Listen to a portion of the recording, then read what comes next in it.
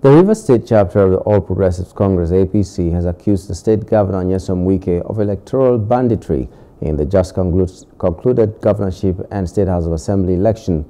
In a statement by the APC chairman and secretary Emeka Beke and Darlington Nwauju, respectively, the party noted that the election was marred with intimidation, thugs attack, hijack of electoral materials, killings, and other electoral offences.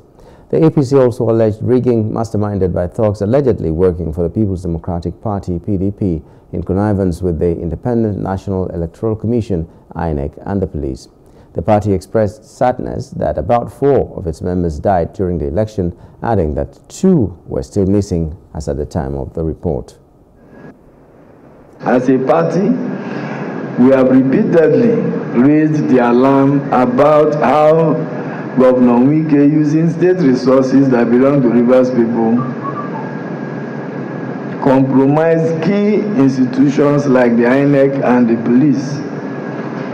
What happened on Saturday was a systemic institutionalized rigging of the elections by Governor Wike with the supposed umpire, INEC, and the police actively doing the bidding of Governor Wike. However, there were notable points of concern. Members of our observation mission personally observed violence and voter suppression in numerous voting locations.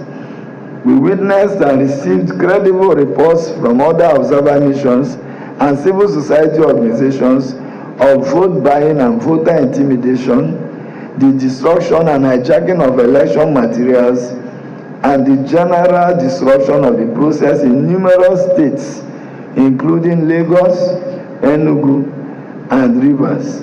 Hello, hope you enjoyed the news. Please do subscribe to our YouTube channel and don't forget to hit the notification button so you get notified about fresh news updates.